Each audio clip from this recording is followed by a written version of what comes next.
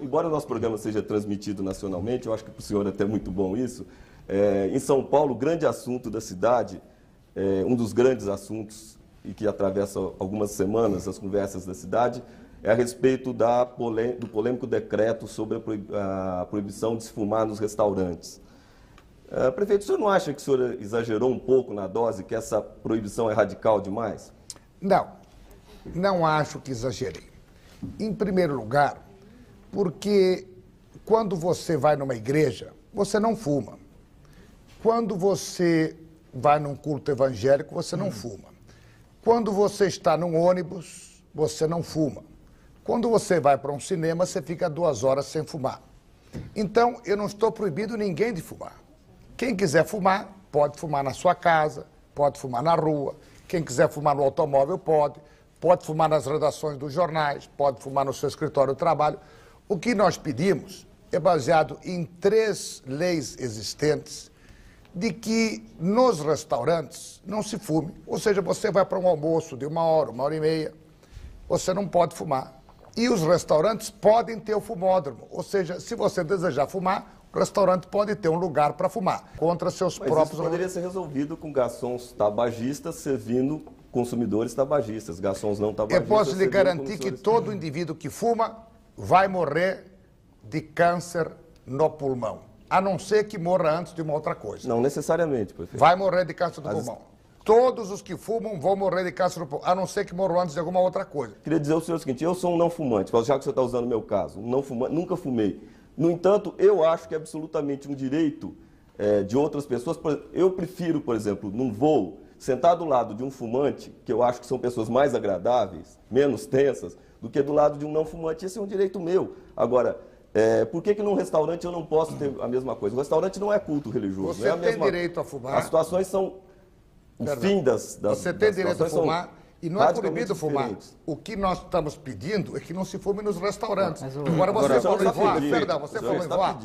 Nos Estados Unidos, sim, há um decreto proibindo hum. e há uma, há uma multa muito séria para quem fumar. Pois bem, nos Estados Unidos da América do Norte, todos os voos, todos os voos são não fumantes. Se você pegar um coast to coast, por exemplo, Miami, Los Angeles, Nova York, Los Angeles, Nova York, São Francisco, são cinco horas e pouco, onde todos os voos são não fumantes. Agora, o que se discute, e aqui no Brasil também existe este, esta mania, de ser constitucional ou não. Então, quando se, se discutiu o cinto de segurança, ninguém dizia que o cinto de, de segurança não salvava. Dizia, não, é anticonstitucional. Quando se discutiu, por exemplo, o problema do PAS, do plano de saúde, idem, todo mundo diz, não é constitucional. Mas se salva vidas, existe na Constituição um preceito que é uma cláusula pétrea, ou seja, existe autonomia municipal.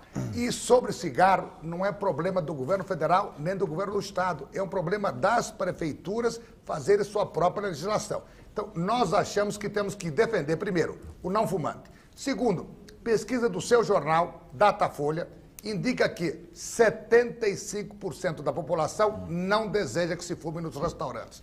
E 19% deseja. Isso quem diz é o seu jornal, a Datafolha. E mais, o seu jornal diz o seguinte, que 67% dos fumantes desejam que não se fume nos restaurantes. Mas, então, então não é contra o fumante, contra, é contra o restaurante. É tão grande? Fumo no restaurante. Contra, não é contra o fumante. Não, é não contra o fumo no é restaurante. Nós estamos falando exatamente do caso do restaurante. Eu fui muito claro. Eu insisto, prefeito, para não criar um, um, clima ruim entre não, eu e o senhor, clima absoluto. eu sou o mediador de, do Roda Viva e não estou aqui. Eu estaria, teria a maior honra de, de estar aqui defendendo a Folha de São Paulo se eu tivesse aqui nesse momento cumprindo essas funções. Eu não estou como editor executivo. Então, Sim, mas como eu leio a Folha e que o seu jornal diz que 75%... Toda vez que eu gostaria que eu dissesse sobre a Folha de São Paulo, que é uma pesquisa verdadeira, agora, é uma pesquisa que mede intenção e não mede realmente uh, o concretamente o que está acontecendo, como não, toda nem, pesquisa de opinião. Porque senão não teria polêmica. O, o, cinto de segurança, por exemplo, não teve nenhuma polêmica. Teve, sim, senhor. Não, desse o grau, não. O diretor grau, do dessa, Detran, desse, Ciro Vidal, desse, nesse grau, não. inconstitucional. Nesse sim, grau, senhor. não. E nós temos, é, em São Paulo agora, restaurantes recorrendo contra esse decreto. Nós temos é, uma movimentação. E ganhando, né? E ganhando. E ganhando. E ganhando, além de tudo ganhando. Se fosse uma coisa tão nítida, do é. ponto de vista constitucional, alguns restaurantes Sim, não estariam. Alguns juízes de primeira instância isso. estão dando. Ué, mas, é mas eu recomendo a é você, Marcelo, a... espera, você mas vai me deixar faz? falar.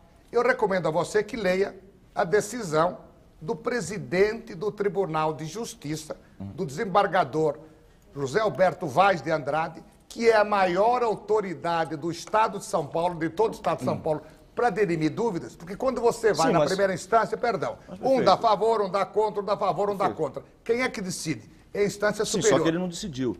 Ele tanto, decidiu, sim. Não, tanto que alguns, alguns restaurantes continuam. Perdão, ele decidiu, ele decidiu, ele decidiu, cancelando todas as liminares dadas anteriormente. Hum. Agora, o que se pede, simplesmente, é que não se fume no restaurante, porque o direito de você se suicidar não lhe dá o direito de você assassinar o seu vizinho. E por que? A legislação, desde que ela é lei, ela não é arbitrária. Porque é assim em Nova York, é assim em 50 cidades da Califórnia, é assim em mais de uma centena de cidades americanas, e daqui 10 ou 20 anos você vai ver que as pessoas vão rir daqueles que se suicidavam fumando. Essa questão é relevante? Nós estamos vivendo uma cidade com problemas terríveis, enormes. Isso. Problemas de trânsito, problemas de saúde, isso, mas isso de é educação. O que, que é isso? Não? Nós estamos discutindo isso porque, quer dizer, isso é importante. Se a pessoa quer fumar ou não quer fumar, Quer dizer, eu, eu acho que tem, discutindo tem uma porque vocês estão perguntando não, eu acho que e eu questão... não me nego a responder nenhuma pergunta. Eu acho que a questão tem um programa da... sem censura. Às vezes eu sinto que o senhor tem prazer em proibir as coisas. Sabia? Por exemplo? Proibir, sabe, quer dizer, ditar normas de comportamento pessoal. Deixa Por exemplo, a pessoa fumar. Por exemplo, além de fumar, o que mais que foi proibido? O negócio do cinto de segurança, eu não, posso, eu não posso, eu tenho que andar com aquilo me amarrando. Eu acho que salva a tua vida. Mas prefeito, isso eu posso decidir sobre isso, não posso? Prefeito, não, mas eu acho que você não deve decidir, decidir sobre prefeito. isso. Eu vou dizer por quê. Porque se você quiser decidir sobre isso, você está pregando não o Estado de Direito, o Estado de anarquia. Não acha nada. Existe uma estatística álcool, na cidade álcool, de São Paulo. O álcool faz mal. O senhor, fez, o senhor vai proibir o álcool na cidade de São Paulo? O álcool nós não vamos proibir. A motocicleta mas já, é perigosa. Já, já se proibiu o álcool. Motocicleta já não anda se proibiu o álcool à beira das estradas. Como já se proibiu o álcool, como se já, já como várias culturas já proibiram o tabagismo, como o café já foi proibido, essas coisas vão e voltam, prefeito. Culturalmente Matinas, vão e voltam. Matinas, eu numa estrada na França. O senhor anda 300 quilômetros, o senhor faz um teste com o carro a 300 km por hora. O senhor vai proibir isso? Dá licença, eu vou Por que, eu o senhor não proíbe o teste lá. com carro? Espera, é perigoso, pessoas mas... morrem. Então espera um pouquinho. Eu e fiz senhor, um... no entanto, o senhor pega o carro do senhor licença, com prazer, não, que é a mesma relação. Então é bom você. Que é a mesma relação que tem com o cigarro, entendeu? E a pessoa vai lá e você pode mais. Agora, não, senhor, perdão. Então o senhor devia proibir você também. Você está tergiversando. Vamos falar em primeiro lugar não, sobre o álcool. Senhor... Você me deixa responder claro, sobre o álcool claro, ou não? não? Muito bem. Eu estava numa estrada na França, à noite. Tinha um comando. O comando me parou. Eu tirei os documentos. Ele disse não, me deu um bafômetro. Os documentos não interessavam a ele. Ele quis saber se eu tinha bebido e se estava guiando estrada. De maneira que eu acho que se as autoridades brasileiras fossem, quem sabe, um pouco mais severas para fiscalizar os motoristas nas estradas para saber se bebe ou não bebe, provavelmente alguns acidentes não teriam acontecido. Ninguém sabe se esse acidente anteontem no Rio de Janeiro, que matou 15 pessoas, se o, o motorista não tinha bebido antes. Inclusive, há um decreto aqui no estado de São Paulo que é proibido os bares à beira da estrada de vender álcool, que eu acho que está perfeito.